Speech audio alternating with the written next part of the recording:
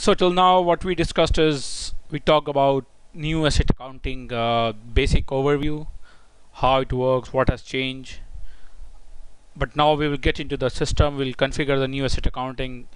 The system we have in front of us is currently is S4 HANA system. You can see at the bottom I am targeting the cursor. It's S4 HANA system where SAP has you know changed the asset accounting from classic to new in EHP7 we get an option to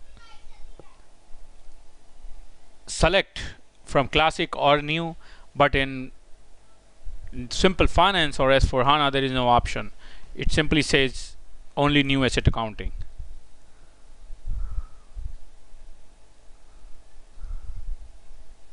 Okay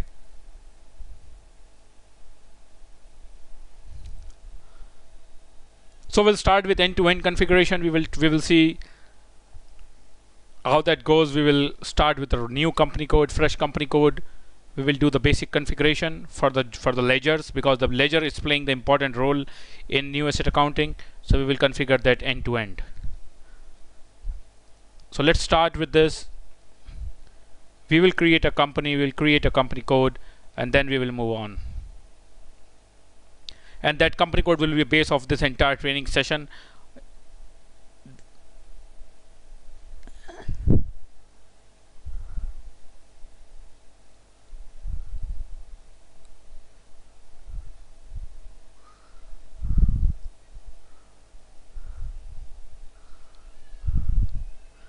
So we will say company for testing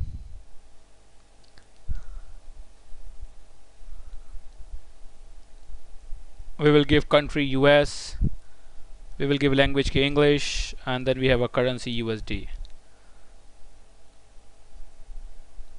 sorry. And then we save it. We will have a new transport request. We will create a new request there. New asset accounting end-to-end -end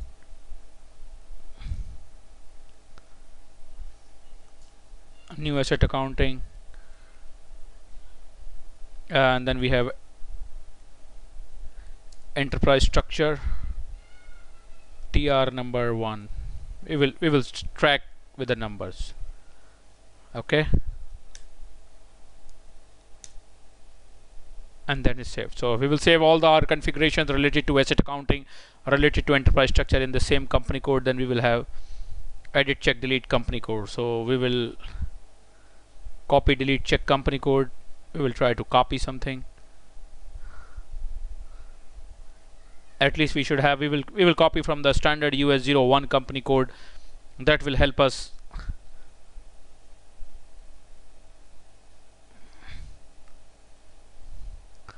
And we will say AA01 copy only copy the GL account if you want to look at the same chart of account as the source company code yes I want to copy. Yes I want to copy. Number range yes. So I'll copy everything from enterprise structure perspective. This more easy job rather creating everything fresh. I'll have a new one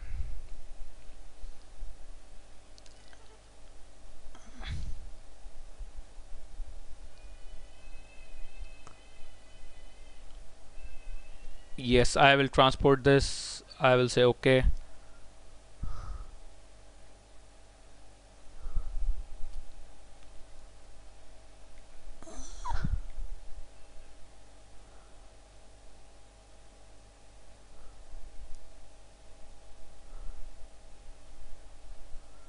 Company code US00 copied to AA01 there we go. And there we have so now AA01 will have all the features of US01.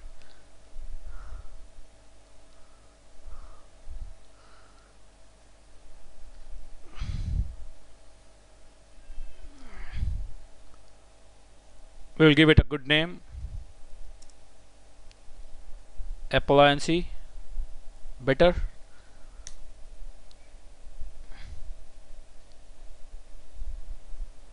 okay now we will open another session and we will see the global assignment of this company code. What all is assigned?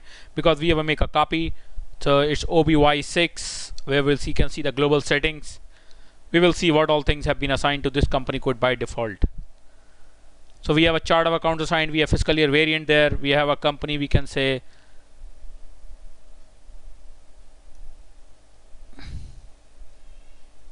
okay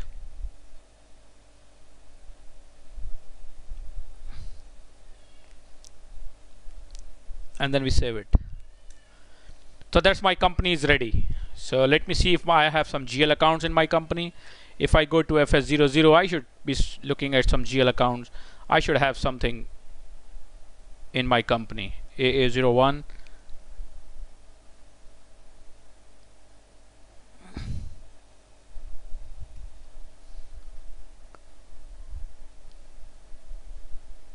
I should be looking at a company code level so I should go to GL accounts in company code.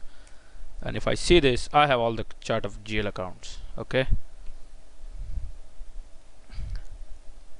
So that's good.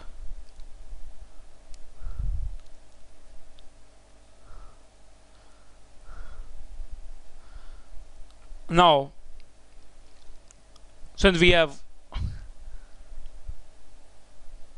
created a company. Let's see what's the posting period variant. I'm still not into asset accounting. I'm still working on the global settings of the company code. So we still have posting period variant as 0001 so let's see what is in 0001 we'll go to OB52 we will see what is there in 0001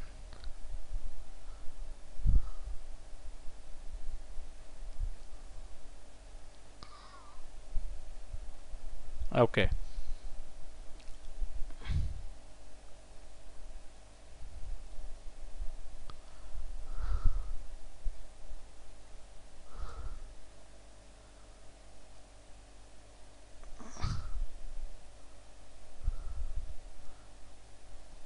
Now we'll go to financial accounting global setting. The main configuration start from here where we have the GL setting, we have the ledger settings, we have all the key settings there. Okay, just give me a second. Okay, so we will get into financial accounting global settings. We have ledgers,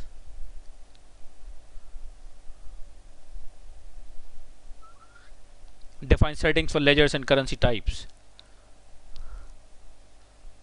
so we have three ledger defined. So this is very important you know we talked about this in the theory session as well. This is very important the, le the ledger settings. The standard ledger is the leading ledger. Then we have a1 as we will name it as appendix ledger. And then we have this one is non leading ledger. Okay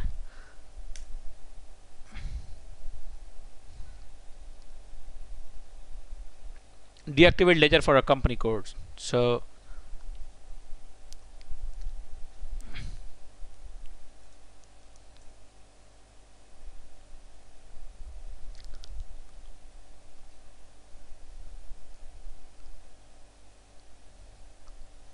so we are not deactivating anything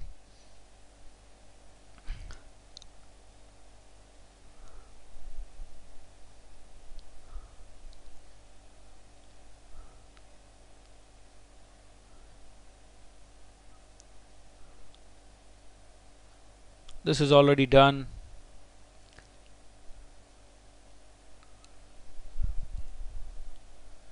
Then we will see execute consistency check for GL settings.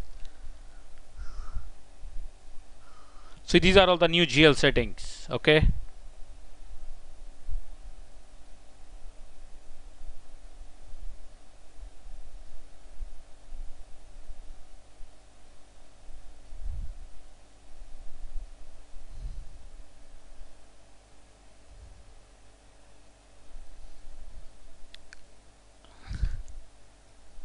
let's see we have a number range or not. AA01 is my company code. Do I have a number range or not? I do have.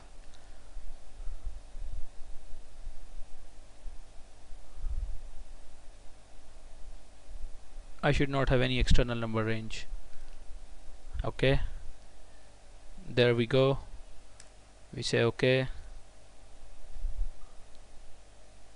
Now let's try to post a JV because that will help us to understand whether the system is working fine or not. So we will go to FB50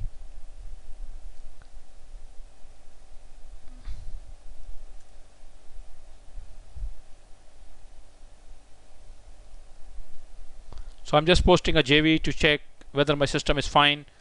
Do I need to do something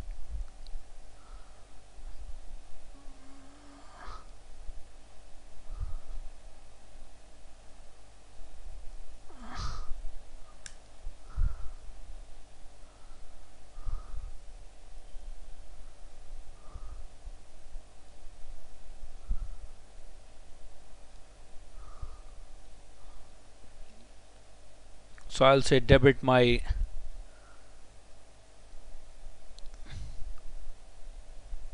and it's ten thousand dollars. Test test test posting.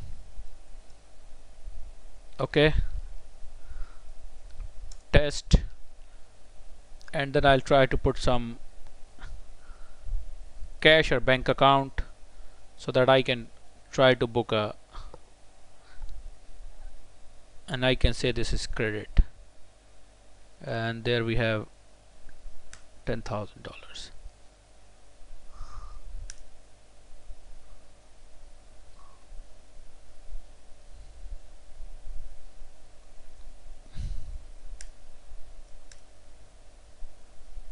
Okay so there is a tolerance still not defined. We have to define the tolerance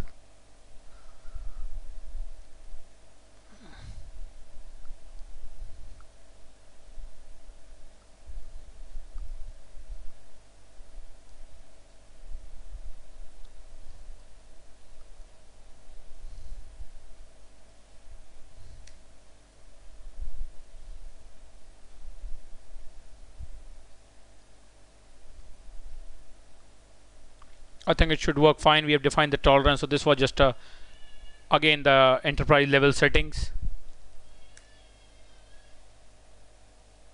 I have to I think come back. And I'll enter again.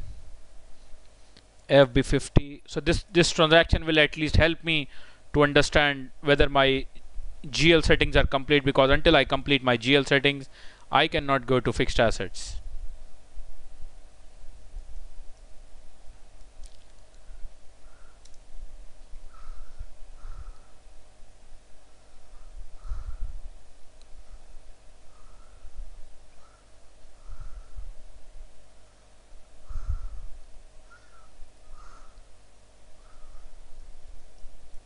I'll select cash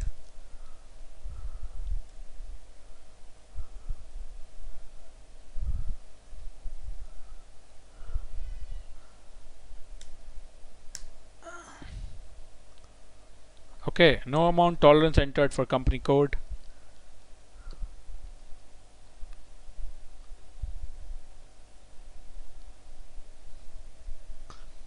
This should have been defined. I just defined this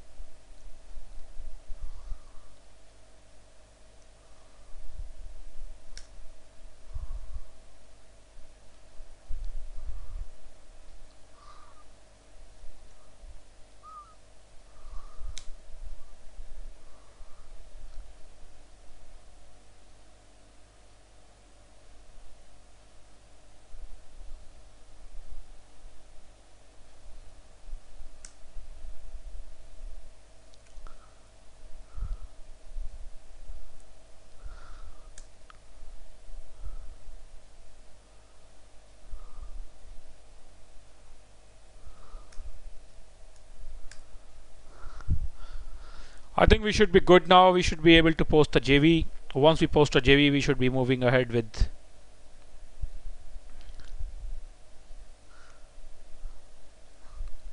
I need to go back. These are the normal errors you face when you do the config. So don't worry about these. You will try to learn to resolve them. Okay.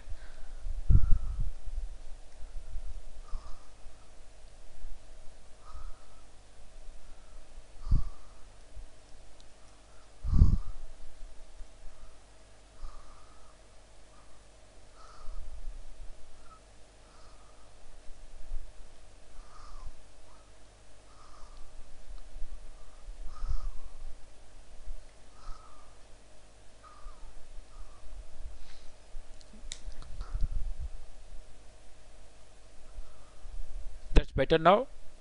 It requires a cost center and I should be giving my cost center to which I, I want to put, put the cost.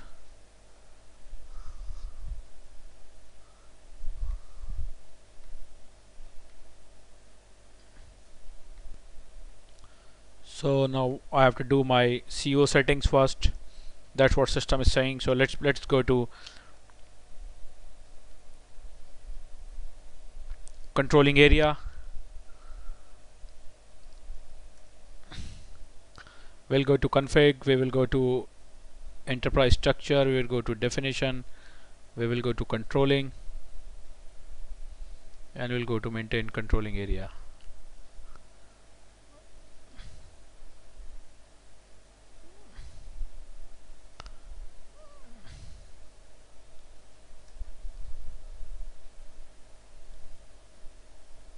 Okay so this is what we have